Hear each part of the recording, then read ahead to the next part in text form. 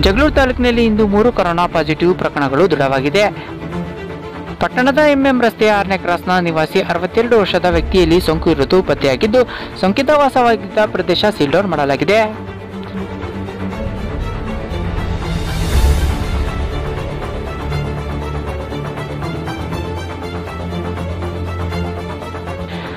ಮತ್ತೊಂದೆಡೆ ತಾಲೂಕಿನ ಬಿದಿರ್ಕೆರೆ ಗ್ರಾಮದಲ್ಲಿ ಒಂದೇ ಕುಟುಂಬದ ನಲವತ್ತೇಳು ವರ್ಷದ ಮಹಿಳೆ ಹಾಗೂ ಇಪ್ಪತ್ತೈದು ವರ್ಷದ ಯುವತಿ ಇಬ್ಬರಲ್ಲಿ ಸೋಂಕು ಇರುವುದು ದೃಢವಾಗಿದ್ದು, ಇವರು ಬೆಂಗಳೂರಿನಿಂದ ಬಂದಿದ್ದರು ಎನ್ನಲಾಗಿದೆ. ಒಟ್ನಲ್ಲಿ ತಾಲೂಕಿನಲ್ಲಿ ಈವರೆಗೆ ಅರವತ್ಮೂರು ಕೊರೋನಾ ಪ್ರಕರಣಗಳು ದಾಖಲಾಗಿದ್ದು, ಇದರಲ್ಲಿ ಒಟ್ಟು ಮೂವತ್ತೆರಡು ಜನ ಗುಣಮುಖರಾಗಿದ್ದು, ಮೂವತ್ತೊಂದು ಪ್ರಕರಣಗಳು ಸಕ್ರಿಯವಾಗಿದೆ. Bureau report DTV news.